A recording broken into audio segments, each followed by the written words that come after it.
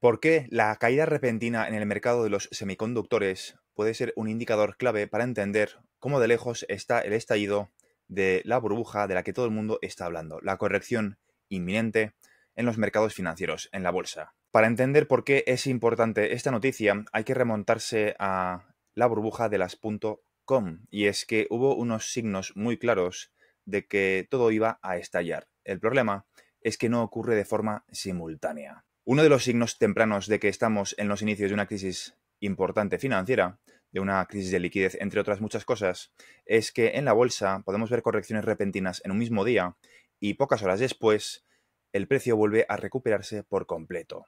Este es uno de los signos tempranos, pero es que hay más. En el año 2000 no cayó todo de golpe, cayó por fases. Primero reventaron las compañías más pequeñas las pet.com y empresas que valían millones o cientos de millones o varios cientos de millones, mientras el resto del mercado seguía subiendo y batiendo récords. Después de que reventasen las pet.com, fueron a por los Junior Growth Stocks.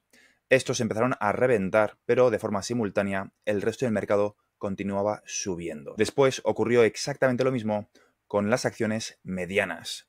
Empezaron a caer, pero de forma simultánea el resto de acciones, el resto de la bolsa, continuaba subiendo. Y cuando llegó el verano, ocurrió lo mismo con las empresas del tamaño como por ejemplo Cisco, las empresas tecnológicas. Mientras el 30% del mercado caía, las .com y lo que eran las empresas tecnológicas, el otro 70% del mercado continuaba subiendo. Y no fue hasta más tarde cuando vimos una corrección de más de dos años y medio del 70% de la bolsa que quedaba por corregirse. Y es que hace apenas unas horas el Nasdaq 100 se desmorona. La guerra de los chips provoca la mayor caída del índice tecnológico desde el año 2020. Puedes decidir qué versión quedarte, si esto es algo residual, algo excepcional, o si vamos a ver el mismo patrón que ocurrió en el año 2000. De forma simultánea, Sky News reporta la siguiente noticia que ya ha sido resuelta en menos de una hora. Problemas de pagos globales resuelto un problema de pagos global que afectó al Banco de Inglaterra, nada más y nada menos que al Banco Central de Inglaterra, esta tarde se ha resuelto. El banco acaba de emitir un comunicado diciendo que un proveedor externo ha solucionado el problema y que los pagos se están liquidando con normalidad. Se está refiriendo a CHAPS, el mismo CHAPS que se está adaptando a ISO 20022, igual que el Banco Central Europeo, igual que la Reserva Federal y el resto de instituciones financieras que se dedican a mover pagos de alto valor.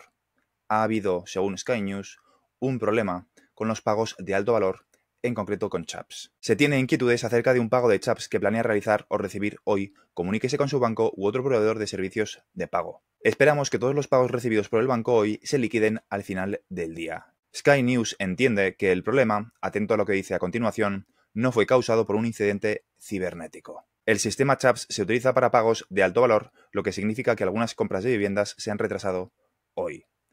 Te están diciendo que hay problemas con los mecanismos de pago, hay un problema de liquidez, estamos viendo los signos tempranos de una corrección en la bolsa y esto se va a acentuar en un futuro.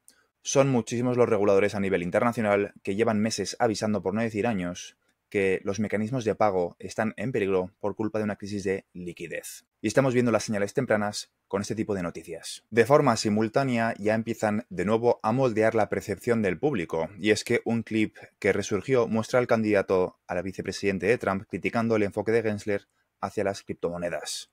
Y es que de nuevo, no es que Estados Unidos sea anticripto, lo que están haciendo es moldear simplemente la percepción del público. Estados Unidos es uno de los países más punteros en cuanto a tecnologías de contabilidad distribuida. Las empresas más innovadoras, como Ripple y Stellar, están en territorio americano. El futuro vicepresidente, si finalmente acaban ganando las elecciones, se refirió a Gary Gensler como la peor persona para regular las criptomonedas. De forma simultánea, parece que todo el mundo está hablando de exactamente lo mismo los activos digitales. En este caso, ha cambiado de opinión. Trump revela el repentino cambio de actitud del CEO de JP Morgan hacia Bitcoin y las criptomonedas en medio de un enorme aumento de precios. Y aquí lo importante es que entiendas que ni Biden es anticriptos ni ni Trump es anti-CBDCs. Simplemente lo que están haciendo es enseñarle al público que hay un problema con el sistema financiero, con lo que te he explicado al principio de CHAPS, y que va a ser generalizado, y cómo el sector de activos digitales, el dinero digital, va a solucionar los problemas de liquidez del sistema financiero. Y es que continúan los movimientos en la campaña electoral de Estados Unidos. Biden bajo nueva presión de los principales demócratas mientras el COVID detiene la campaña.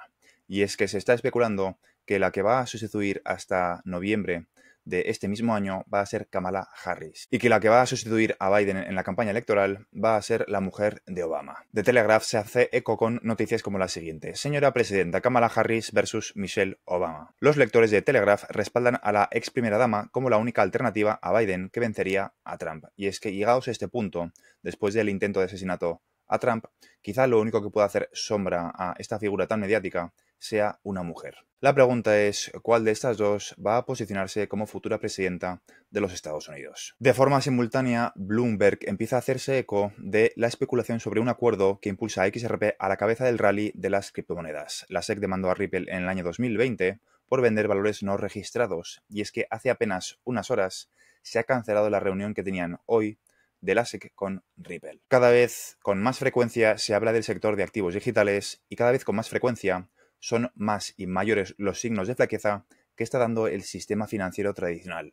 Hay una crisis de liquidez y quizá en los próximos meses, no se sabe cuánto tiempo queda, veamos cómo los problemas se acentúan. De forma simultánea, de nuevo, XRP supera a Bitcoin en Corea y registra el doble de su volumen comercial. Esto es una noticia de hoy, 18 de julio.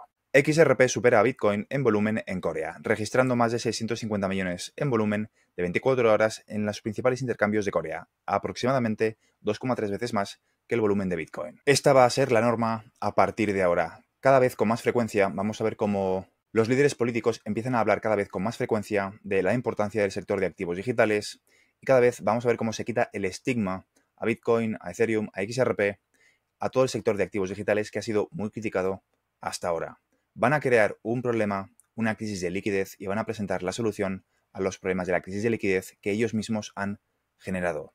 Te lo están diciendo, lo están cubriendo en las noticias, lo han avisado los reguladores, lo han avisado los que se encargan de velar por la estabilidad financiera, de FDIC y muchísimos organismos más que he cubierto en mi canal, y simplemente tienes que leer entre líneas porque mientras aprietan al sistema financiero obligándole a tener más liquidez, de forma simultánea también abren el mercado con mecanismos alternativos. Lee entre líneas, mira los indicios tempranos de que viene una corrección importante, de que estamos en mitad de una transición financiera y protégete acorde. Si te ha gustado este vídeo y quieres que cree contenido parecido, ponme en los comentarios y crearé más vídeos en esta línea. Esto es todo por ahora y nos vemos en el siguiente vídeo.